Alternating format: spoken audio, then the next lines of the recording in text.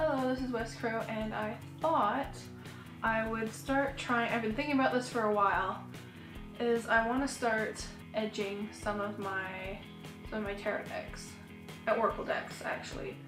So I've decided I've decided on three. Um, I have the Golden Universal Tarot, um, and I think I want to edge this one in black. There's the, the back of it, and here's the type of artwork that's on it. Um, I could obviously edge it in gold, um, but I thought black, like there's tons of gold on the back here, so I thought a black uh, ed edging would, would suit it better. Um, I feel like if there's just too much gold, it's going to start getting a little gaudy. I mean, this deck could technically be considered a little gaudy already. So I think black will kind of keep it a little bit more, little more meaningful. The, the black will make the, the gold more meaningful, I think. I'm gonna start, because I've never done this before, with these two cards um, to see, make sure I don't fuck it up. They're the, the, just the extra bullshit cards. So then my Halloween Oracle, which I love. I was debating with this one. There's the back of it. Gorgeous artwork on it. Um, to edge it in black because I mean that's sort of fitting. But there's just so much black on the back as well, but there is gray there. So I'm thinking I have a deco colored wood paint marker in silver. So I'm thinking it would work well for this to edge this in silver. I don't have spare cards for this deck to test it out though, but they are pretty thick. So I, I don't know. I don't have any spare ones to test it on. It's gonna be all or nothing if I do this. and the third deck, which I've had forever, so the edges are pretty worn, is the animal, the Druid Animal Oracle deck. And I'm thinking with this one because if you look at the back, it's kind of uh, like a navy blue or an indigo blue with kind of a silvery gray silvery uh, border and uh, symbol on the back. So I'm thinking I'm going to try these in silver as well. So what I'm going to use for the Golden Universal Tarot is, I've heard people, I've seen people use it, it's a Sharpie Magnum permanent marker. So I'm going to test it out on, on these two cards and uh, see how, um, how it dries. Because you know how some black inks dry red? I don't particularly want that. I want it to look black. I'm gonna try that out now. The other thing I have is I've seen a lot of people saying that a damp cloth is good to have around just to clean up the edges in case you need it. So I'm gonna try that. What I'm gonna do is just go along the edge like this. See how that goes. Seems to be pretty, pretty good. See there's the other side where you can see the white. There's the side I just did. I think that turned out pretty decently. Let these dry overnight just to make sure that they is the color of black I want for this. But I think, I think that's gonna work. I don't seem to be getting too much of a lead. I think that's gonna work out nicely. Now for this one, see how this works. This is the, I don't know how it's gonna work out. Uh, there's the tip of that one. It's not as big as the other one. There's a little bit of a flatness to it, so hopefully it will work. Might need to do a few passes on this to make sure. I'd rather do a few light passes than press heavily on it. But it doesn't seem to be bleeding onto the white side or the blue side, so that's good.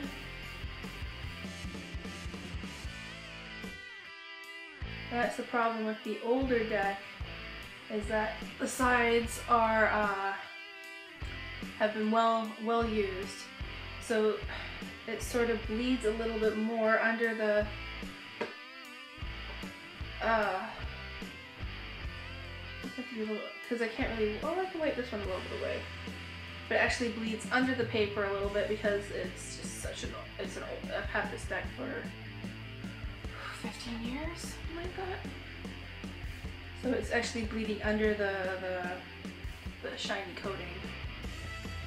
So definitely have to do lighter, later passes on this. This is very watery ink though, because I guess it's meant for wood. So that's part of it. At least that means I can wipe it away easily. But yeah, these are probably going to take a few passes with this pen. Probably an ink pad would just be better. But I can start to see a little bit of the silver there. It's to be a bit of a project to line them all out and let them dry. So I will get on it and get back to you in a day or two, mm, a couple hours. Whenever I do get back to you, I'll get back to you and show you the end results of all of them. See, this is why older decks you probably shouldn't be doing this too. Still don't think it's ruined, I still love this. But maybe I will not be doing the edging to the older deck. It's just been too low low. So these are the two decks uh, done. Um, I'll show you what they look like now.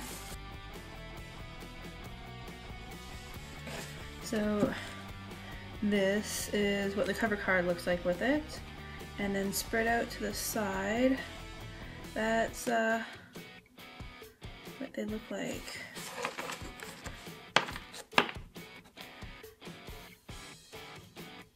I really like the way this turned out. It doesn't have that kind of red inky thing that I thought what might happen with it. Sorry, this is probably gonna look upside down. Um, it's just the way my desk is situated right now and the light. I think they just seem more complete now. They seem finished. So, um, and I'm really liking the choice of going black instead of gold. Um, I can see how the gold would work really well with this, but there's already so much gold involved here in the cards that I think having the black edges just really showcase the gold a lot more, make it pop a little bit more than if I had the gold edges. So anyways, yeah, that's my edging of, uh, of this deck. And here is my Halloween Oracle. And I don't know how well this is going to show up on camera. I decided to go silver. It's not an overly metallic silver, if it's catching it or not. But I ended up going silver. I, I was thinking like it's like it's the Halloween Tarot deck. I could have gone like a really deep pumpkiny orange, maybe even a little bit deeper than the box here. And that would have looked nice too. But I was going with sort of the back of the, the cards here, and I thought the silver, like I could have gone black with this as well. But I think there's just so much black that it, it wouldn't have stood out as nice. Um, so I went with the silver, and I think the silver, especially this muted silver. I mean, it could have gone a shinier silver, but I don't, I don't think the super shiny silver would have complemented as well with all these cards. I mean, these are beautiful cards. Silver definitely would have looked good with that. But this more muted one I think really sort of sticks with the with the feel of the back of the cards and still does not conflict with these cards at all.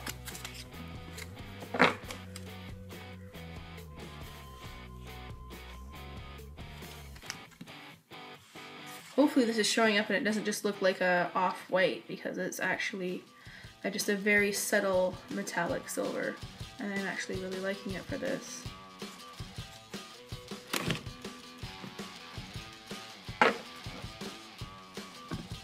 Hopefully the sun is catching that.